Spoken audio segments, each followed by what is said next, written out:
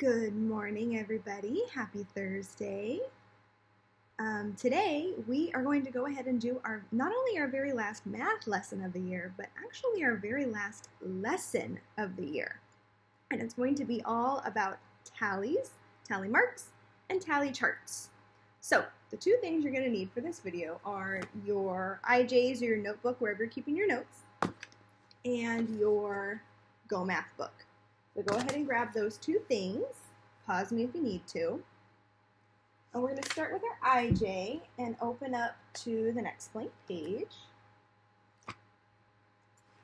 It's been a while since we've been in it.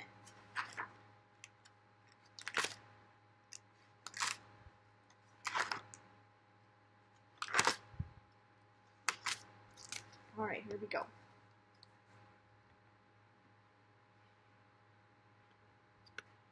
Now at the top, if you'd like, you can write today's date, which I believe is the 21st. Let me check. Yes. 5, 21, 20, 20. And I'll zoom in so you can see that.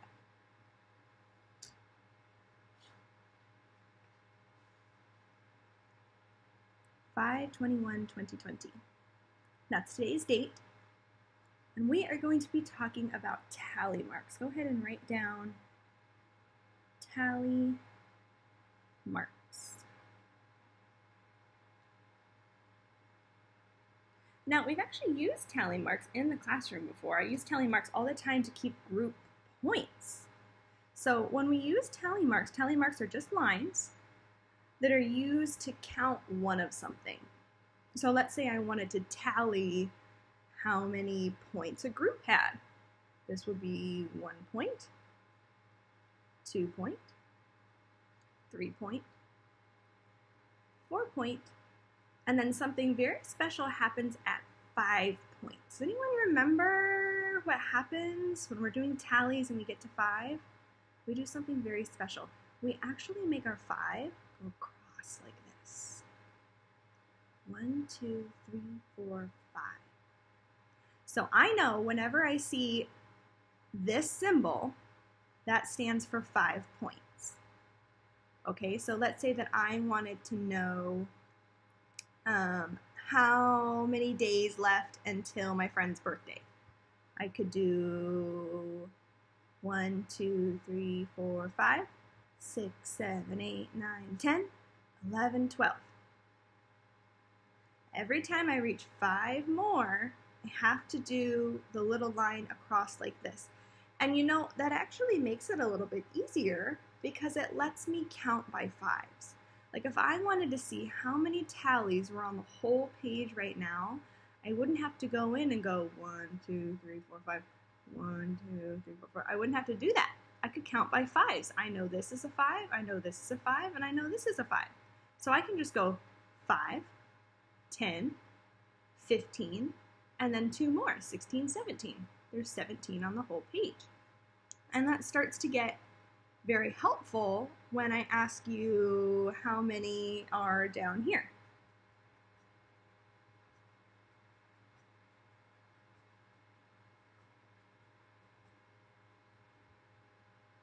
If I said, hey, tell me how many tallies that is, it would take you a really long time to go 1, 2, 3, 4, 5, 6, 7, 8, 9, 10. It would take you a long time to do that. But because we do our tallies in this special way with the line across, you know that each of these groups of tallies is worth 5, and you can just count by 5 until you get to this last group.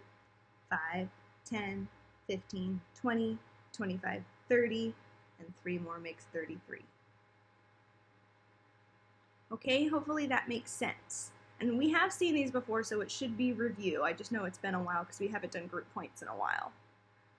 So, once you are done with your IJ,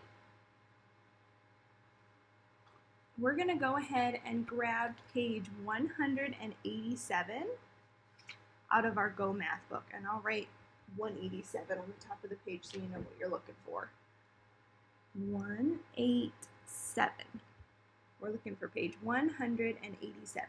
You should see a chart up here with some tallies, and it looks like some vegetables on the side over here.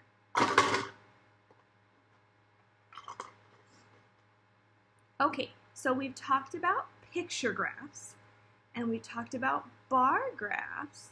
Today we're going to talk about a tally chart. And a tally chart, again, gives us information, but it uses tallies to do so. So for example, this chart right here is charting our favorite vegetables.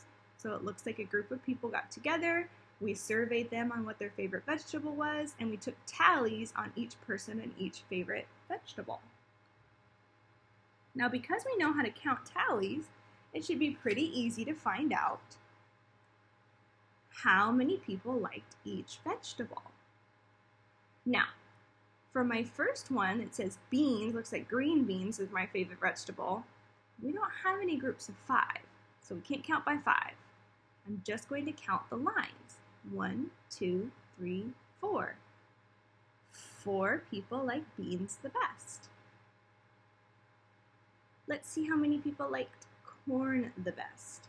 Now I know this is the same as five, so I'm not going to count one, two, three, four, five. I already know this is five. I'm just going to count on from five. So five, six, seven, eight. Eight people liked corn as their favorite. And carrots is easy. How many people liked carrots the best? You should be able to tell me without even counting. Five.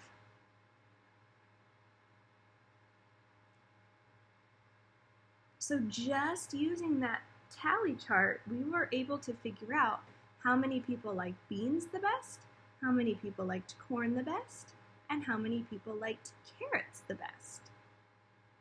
Now we're going to answer some questions using the tally chart. I'm going to go ahead and zoom out a little bit.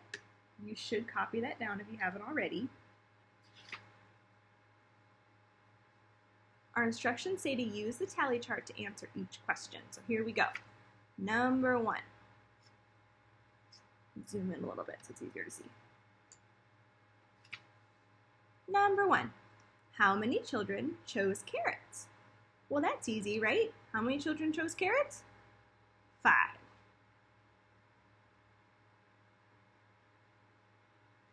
How many children chose beans? Well, that's easy, right? Beans? Four. Four kids like beans. Those kinds of questions should be pretty simple. It's this third type of question that's going to get a little bit tricky. It says, how many more children chose corn than carrots? Okay, so eight chose corn and five chose carrots. How many more is eight than 5. And there's a couple of ways that you could do this. You could just do 8 minus 5 and figure out what that is. Or you could look right at the tallies and say, okay, well, corn has how many more tallies than carrots? Three more. Either way, you're going to get the same answer. Three more children liked corn than carrots. Okay, five, four, three. Number four. Which vegetable did the most children choose? Circles. So, which of these three vegetables was the most popular? Did the most people like? Was it green beans, corn, or carrots? Four kids like green beans, eight kids like corn, and five like carrots. Which one had the most kids like it? corn. Because that's the biggest number. That means the most kids liked it. Does this make sense, everybody? Hopefully it does. There's a lot of questions that you can answer just using this one chart. And the same is true for bar graphs and picture graphs.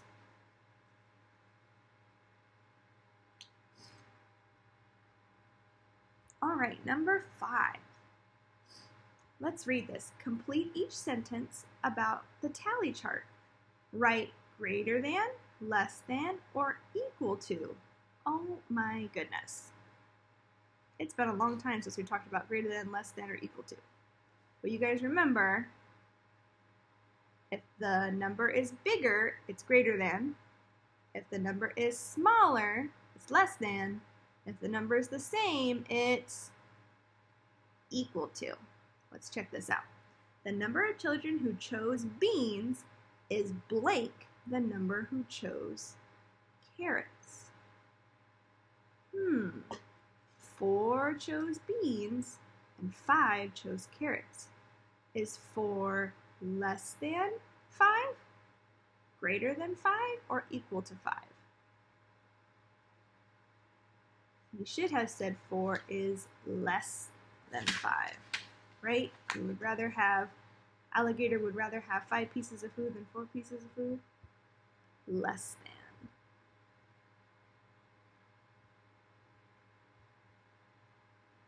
Okay, last one. The number of children who chose corn is blank the number who chose beans. Okay, so we have, looking back up at our chart, we have eight kids chose corn and four chose beans. So eight is greater than four, less than four, or equal to four.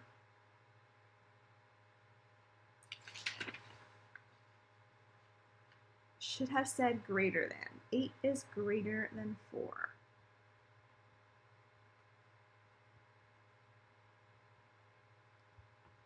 Go ahead and pause the video if you need to write that down on numbers 5 and 6 on page 187. Now, your guys' homework, your last homework for any video of the year is page 188. Okay, that's what you're going to be finishing is just page 188. That's it. And once you are done with page 107 and 188, you are done. Remember, next week I am not putting out any new assignments. We're just going to have our Zoom video this Friday, tomorrow. Hope to see you guys there. And then next week we're going to be turning in our stuff. Okay, if you have any questions about this, you can bring it up during our Zoom meeting tomorrow, or of course, you can always send me a message. I wish you guys the best. I can't wait to see you guys tomorrow, and I hope you have a great day. Bye, everyone.